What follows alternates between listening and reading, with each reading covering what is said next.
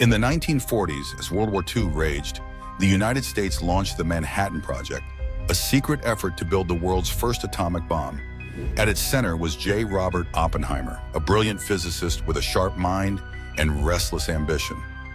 Under his leadership, scientists gathered in Los Alamos, New Mexico, racing against time and fear that Nazi Germany might develop the weapon first. On July 16, 1945, their work culminated in the Trinity test, a blinding explosion in the desert that changed history forever. Watching the fireball, Oppenheimer recalled words from Hindu scripture, Now I am become death, the destroyer of worlds. Soon after, atomic bombs fell on Hiroshima and Nagasaki, ending the war but killing tens of thousands.